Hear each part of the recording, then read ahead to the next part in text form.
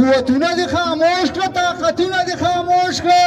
عجیبه غوندې مولا یې د ظالم سړي ظلمونه دې خاموش کړه عمران خان یې که راګیر عمران خان یې که راګیر یو دی شیر بل په بر شیر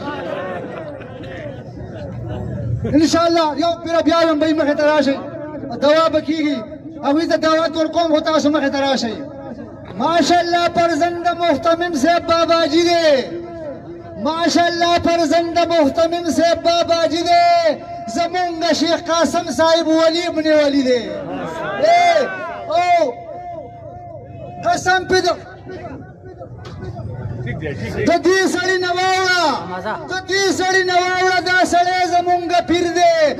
بل نه منم پیر بس هم دا زمونږ پیر دی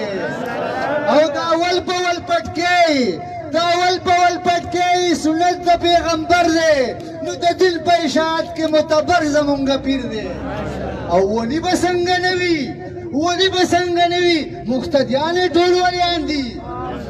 ولی به څنګه نه وي مقتدیان یې ټول ولیان دي نو قسم په زمانه ولی د زمانه قسم په خدای زمونږ پیر دی دا وته خطاب ورکوم زمونږ ستاسو مشر د دې علاقې روحاني پیشوا د افغانستان د کونډو په سر لوپټه اچوونکی د کشمیر د یتیمانانو په سر لاس راښکون کې شیخ الحدیث شیخ القرآن حضرت مولانا محمد قاسم سے په خدمت کې ډېر په ادب او په احترام سره هغوی ته دعوت خطاب ورکوم چې هغوی راشي او تاسو ته جلوه یې پروت شي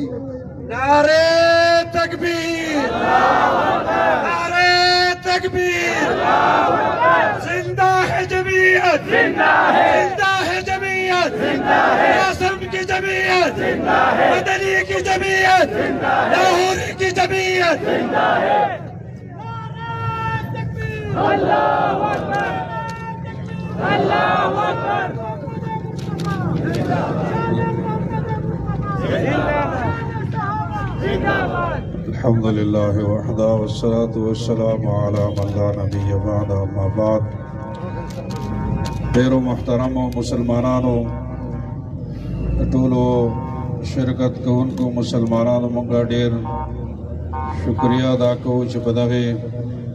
سختې ګرمۍ کې په دغه سخت حالاتو کې د رسول الله صلی الله علیه وسلم سره تاسو ټولو د محبت اظهار وکړ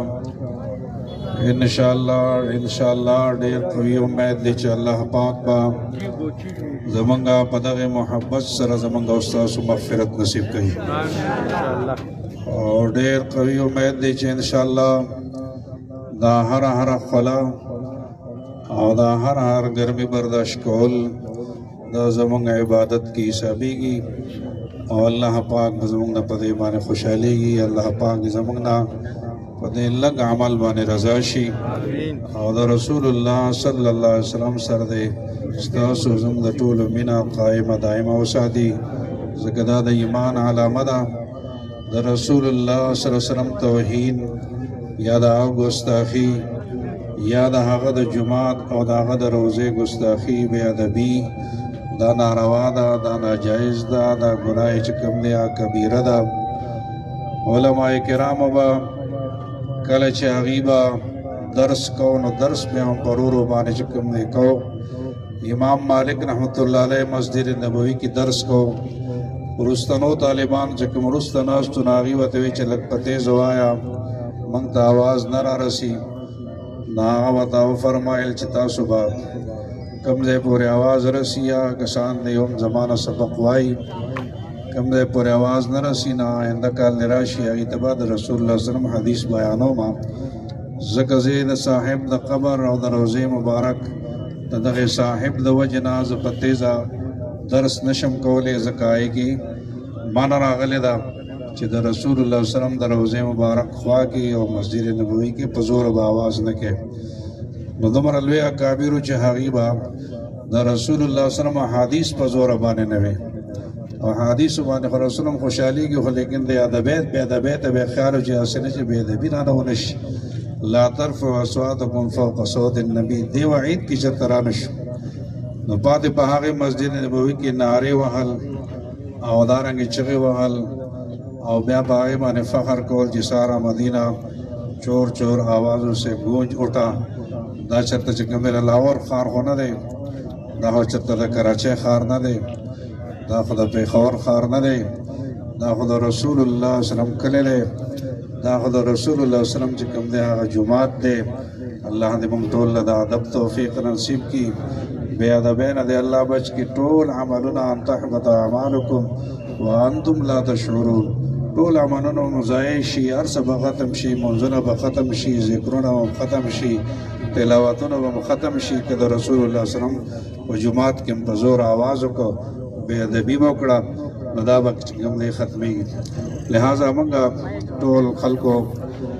دا وایو دا ملګرو ته هم دا وایو دا واقع چې څومره الفاظ سره مذمت وشي نو داسې الفاظ موږ سره نشته چې دا یې مذمت وکړي شي لکه چې الله قرآن مجید کې د کم سیز نه منع کړي زما او ستا په الفاظو د مذمت باندې هغې مذمت نه کېږي الله د یو سیز مذمت کړي نو هغه مذمت والی لهذا موږ هغه خلکو ته چې د دې ګناه مرتکب ګرځېدلې دي دا یې مشرانو ته دا اپیل کو خصوصا زمونږه د دې حلقې منه صاحب خو تاثر عام دا ور کړی زړه مذهبي سړی موي کنه وای مذهب والا ما مذهبي سړی ما ندا مذهبي عوام او د دې حلقې عوام ټول مسلمانان په شریک استانه دا مطالبه کوي چې یعنی په اسمبلی کې د دغه واقع مذمت وکا او د خلاف आवाज اوچت کړه دا تاسو مطالبه ده کنه ان شاء الله دا تاسو مطالبه ده دا د عوام مطالبه ده دا د مسلمانانو مطالبه ده ځکه ځان ته د مذهب پیروکار سو کوی یا بدا کار کوي تا مخ کې ویلو کچره عمران خان زمنګ دور راغی عمران خان چې ته ختم نبوت او چېړو یا ناموس رسالت او چیرې نو زبر اسمبلی نه استعفا ورکوم تا او باغې باندې د اسمبلی نه استعفا ورنکړه خو صرف د عمران خان په وینا باندې استعفا ورکړه هم د صرف ډرامه وکړه اوس پورې استعفا نشته نه ورکړي هم صرف ډرامه د تنخواګانې اخلي کنه اخلي استعفاګانې هم چې کوم ډرامه بل طرف ته وایي چې موږ د مدینه ریاست قائم وو نو مدینه ریاست کې د مسجد نبوي احترام وي کې بے ادبي وي دته و نه مدینه ریاست وای چې مدینه منوره د جماعت او د رسول الله صلی الله علیه وسلم د روزه دای بی عزتی و شین دا چې کوم د مدینه ریاست بداسي سب لہذا موږ دې تداوا چې دا چې کوم غلطي خبره مکوي دا چې کوم دې دغه مکوي بلکې د رسول الله صلی الله علیه وسلم په شان کې ګستاخی پرې ده د رسول الله صلی الله علیه وسلم په ناموس باندې تاسو حمله وکړې او آسیا مسیح مو آزاد کړه دلته قوم ته دا تاثر ورکړ چې عدالت آزاد کړی دا او چې وایټ هاوس ته لاړې امریکې ته لاړې نو بیا دې چې ما ته هغه باندې احسان کو چې تاسو په وینا باندې او تاسو د خوشاله ول لپاره ما آسیا ملونه چې کوم دی آزاد کړ تا امریکا خوشالوله کنه نه خوشالوله اوس وی امریکا زما خلاف سازش کړی دی ته به امریکا خوشاله او امریکا به ستا خلاف سازش کوي ستا بچی به امریکا کې سبق وایي او امریکا به ستا خلاف سازش کوي او د عالمانو بچی به په مدرسو کې سبق وایي او شپور به د امریکې مخالفت کوي هغه به د امریکې په سازش کې راځي هغه به د امریکې مسوبې جوړي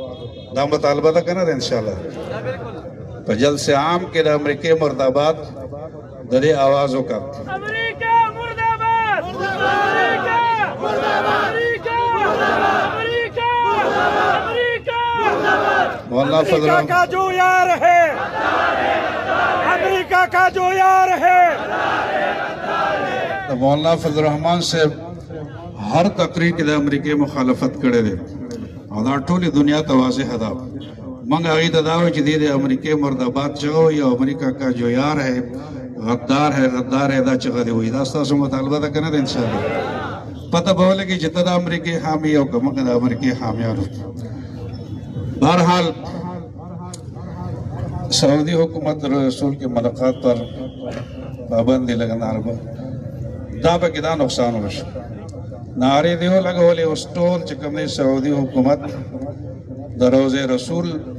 باندې د سلام پابندي ولګول چې دې کې سبب نور راضي یا بچي وایي سبب نور راضي یا ناره ولګي سبب نور راضي دا ستاسو د دې आवाजونو برکت دا ستاسو د دې نارو برکت او شیخ رشید خود ته ویلو کنه چې دا بچ کم دی ته بزي او د دې استقبال او په حرمینو کې به आवाजونه کوي دا پوره پلانینګ وکنو پوره منصوبه بندي وکنو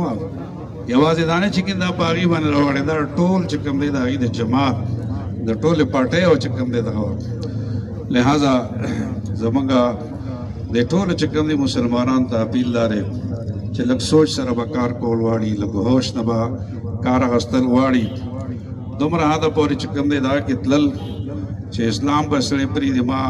د یو موبایل کې وکتل ما کسان ته تقریر کې ویلي هم دي چې هغه وی کچره د نبی صلی الله علیه وسلم نه پس بل نبی وی نه عمران خان به نبی وی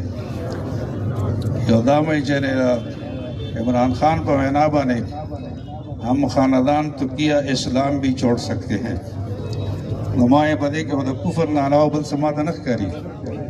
کفر نه علاوه خو بل څه پکې نشته یو طرف ته د امریکې مردباد شغه بل طرف ته کراچۍ کې وي چې موږ انټي امریکا نه یو او انټي انډیا نه یو د انډیا مخالف نه یو د امریکې مخالف نه یو نستا هغه خبره څه شو داسې شو او زمونږ د ایم ان ایس ایم نه چې کوم دې کوم انټرویو هغه ستا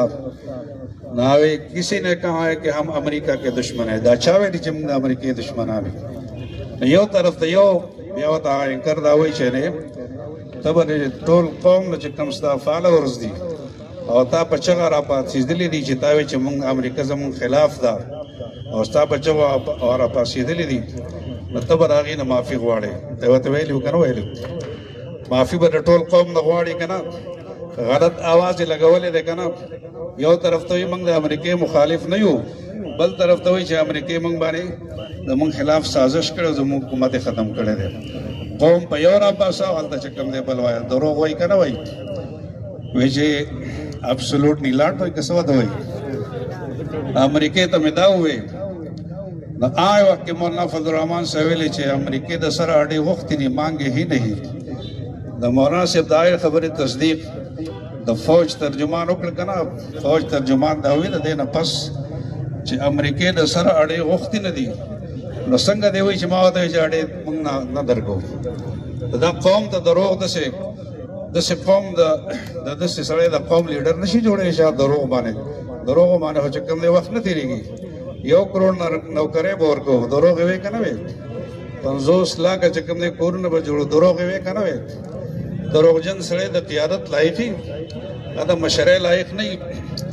لہذا موږ دا وایو چې کم از کم رسول الله صلی الله علیه وسلم په ذات باندې خفه شي کړه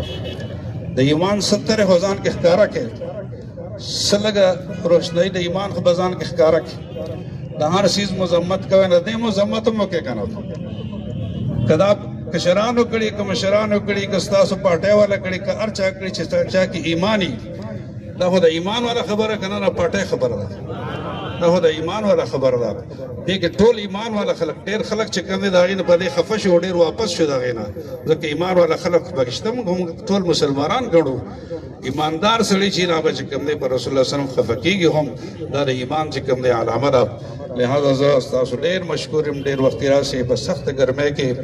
خدا د رسول الله صلی الله علیه وسلم د محبت علامه ده ان شاء الله دې به الله موږ له ثواب راکړي او د رسول الله صلی الله علیه وسلم محبت د ایمان حصہ ده الله استاذ